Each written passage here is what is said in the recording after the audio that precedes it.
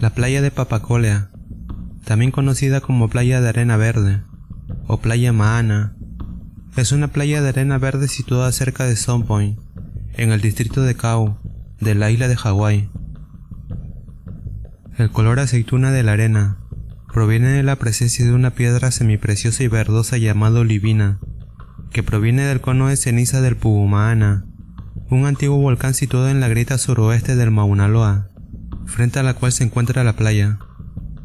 La fuerza erosiva del lavado oceánico en la base del cono de ceniza del Pubumaana ha extraído olivinas de la ceniza y las ha depositado en la playa, dando a la arena un tinte verde. El Pubumaana entró en erupción hace 49.000 años. Desde entonces, el cono de ceniza ha colapsado parcialmente y ha sido erosionado por el océano. El cono de ceniza es rico en olivino, un mineral de silicato que contiene hierro y magnesio.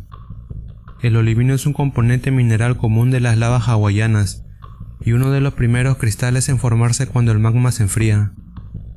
El olivino es conocido localmente como el diamante hawaiano y se encuentra notablemente en el famoso volcán Diamond Head de Oahu.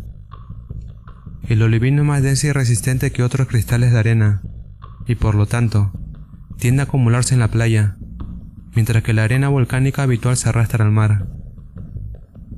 A pesar de que estos cristales son lavados eventualmente, la erosión constante del cono de ceniza asegura un suministro constante de arena para el futuro previsible.